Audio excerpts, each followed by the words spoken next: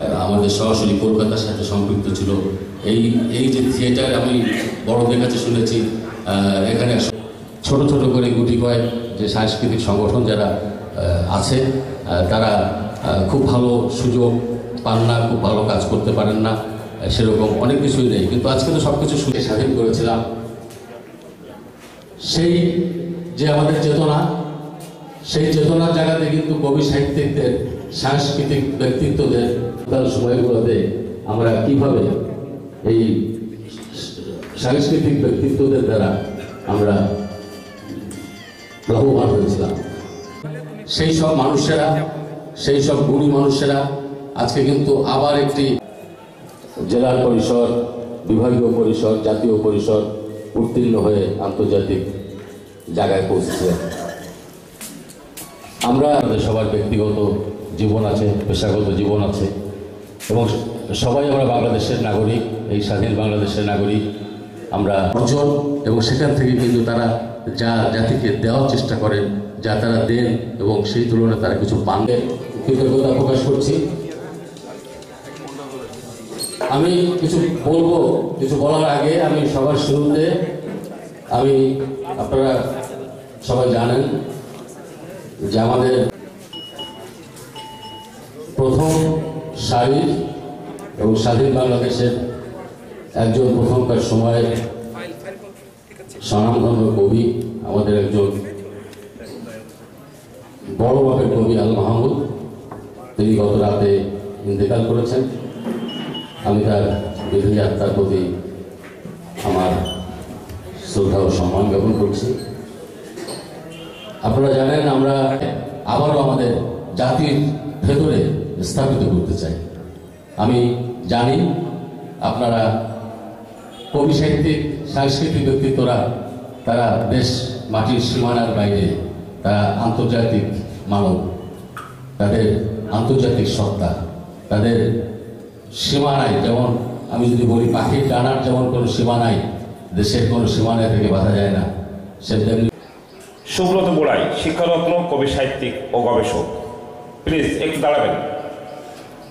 সুব্রত গোড়াই আমরা আমরা তাকে হাততালি দিয়ে অভিনন্দন জানাই। আছেন চন্দনা খাঁটি কবি।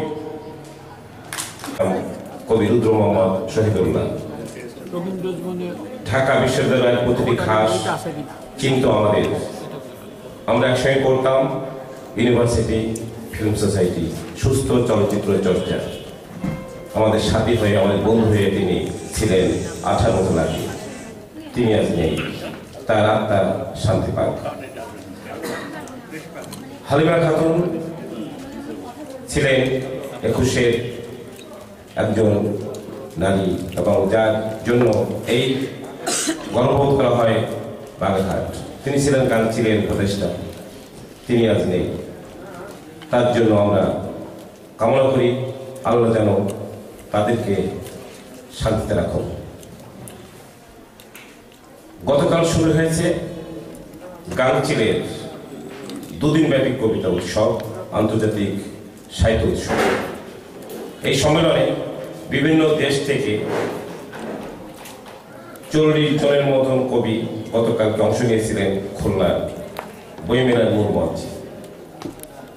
এসেছিলেন ভারত থেকে প্রায়- প্রতিটি রাজ্য থেকে এসছেন, সুইডেন থেকে, আমেরিকা থেকে। এবং বাংলাদেশে ঢাকা থেকে প্রসিদ্ধ নাম করা কবি সাহিত্যিক এসেছিলেন। এসেছিলেন টেকনাফ থেকে তেতুলিয়ার প্রায় প্রতিটি জেলার কবি সাহিত্যিকবৃন্দ। কাল সকাল থেকে রাত পর্যন্ত আমরা সন্ধ্যা পর্যন্ত আমরা একটা অনুষ্ঠান করেও শেষ করতে পারিনি আমাদের কবিতা পাঠ। আমরা কাল ওখানে ওই অনুষ্ঠানে যাদেরকে আমরা খাবার সরবরাহ করেছিলাম, টিমে ভারতের এবং বিদেশের টিম। আমাদের মাঝে ঢাকা থেকে যারা এসছেন, বাংলাদেশ টেলিভিশন, বাংলাদেশ বেতার এবং আন্তর্জাতিক খ্যাতি সম্পন্ন বাচিক শিল্পী সীমা ইসলাম। আমাদের সাথে এসছেন সমসাময়িক সময়ে ছন্দের জাদুকর, যাকে বলা হচ্ছে ঢাকাতে কবি সাই সবুজ কবি শাহী আন্তর্জাতিক সাহিত্য সংস্কৃতি পরিষদ বাগেরহাট শাখা আয়োজিত। আজকের এই একশো একতম সম্মেলনে উপস্থিত দেশ বিদেশ থেকে আগত প্রত্যন্ত অঞ্চল থেকে আগত কবি সাহিত্যিক বৃন্দ, সাহিত্যের রস ও পিপাসু কবি সাহিত্যিক বৃন্দ। মঞ্চে আসীন এবং সামনে সমাসীন কাউকে অ্যাড্রেস না করে সকলকে জানাই, এই গামচিল পরিবারের পক্ষ থেকে ভাষা আন্দোলনের মাসে এবং আজকে বোধহয় বসন্তের চতুর্থ দিনে রক্তিম এবং বাসন্তী শুভেচ্ছা।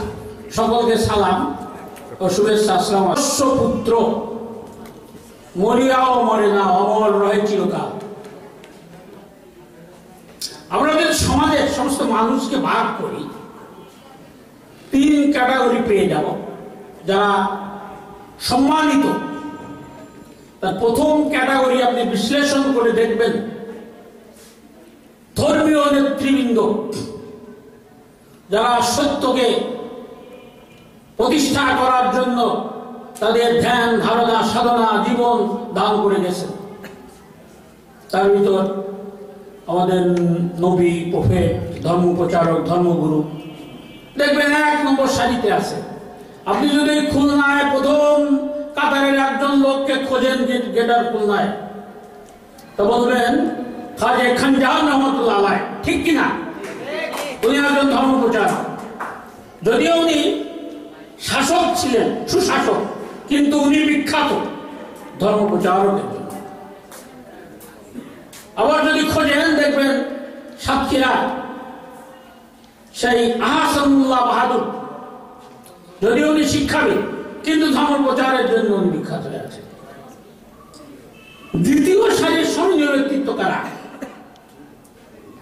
যাদের মানুষ চিরদিন মনে রাখে, কবি এবং সাহিত্যিক স্বদেশ এতে পূজ্যদের রাজা বিদ্যান পূজ্যদের সর্বগ। সীমানা নাই বিশ্বের Shakespeare, Byron, Milton, Nazrul, Rabindranath, Kalidas, দেশের সীমানা পেরিয়ে আন্তর্জাতিক মহলে সমাদৃত। এবং যতদিন মনুষ্য সভ্যতা টিকে থাকবে, ততদিন এই কবি সাহিত্যিকদের মানুষ স্মরণ করবে, তাদের অমর লেখা থেকে উপকৃত হবে। ফেরদৌসি কবে মারা গেছে? কিন্তু তার শাহানামা, মাইকেল মধুসূদন দত্ত। একশো পঁয়ত্রিশ বছর আগে মারা গেছে। আজও আমরা তার মেঘনার পথ পড়ি। পুরে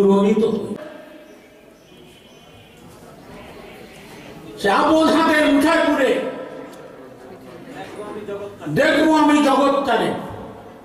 তখন অনেকে পাগল মনে করেছে। আপন হাতের মুঠায় জগৎটাকে দেখা যায়? কিন্তু ছোট্ট একটি উদাহরণ। মানুষ সাথে যাবে, কবিরাই কল্পনা করেছে।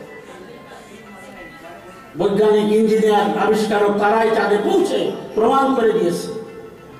যে ভর মরমী সাধক সাইজির দোয়া ঝরিছে হাজার বার।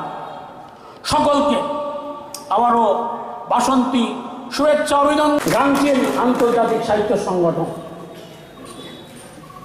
জানা একবার মেললে সীমানা নেই অনুরোধ করব। বছর তিনেক আগে একবার এইখানে আমরা সাহিত্য বহুদিন জন্য দাদা সাহিত্য চর্চা করে যাচ্ছেন। গোলাপ থেকে সাগরী সম্পাদক এস এ শাহিন আলম কবি রুদ্র মোহাম্মদ শহীদুল্লাহ ঢাকা বিশ্ববিদ্যালয়ের প্রতিটি খাস চিন্ত আমাদের। আমরা একসঙ্গে করতাম ইউনিভার্সিটি ফিল্ম সোসাইটি, সুস্থ চলচ্চিত্র চর্চা। আমাদের সাথী হয়ে, আমাদের বন্ধু হয়ে তিনি ছিলেন আঠারো লাগে তিনি আজ নেই। তার আত্মা শান্তি পান। হালিমা খাতুন ছিলেন একুশের একজন নারী এবং যার জন্য এই গর্ববোধ করা হয় বাগেরহাট। তিনি ছিলেন গান ছিলেন উপদেষ্টা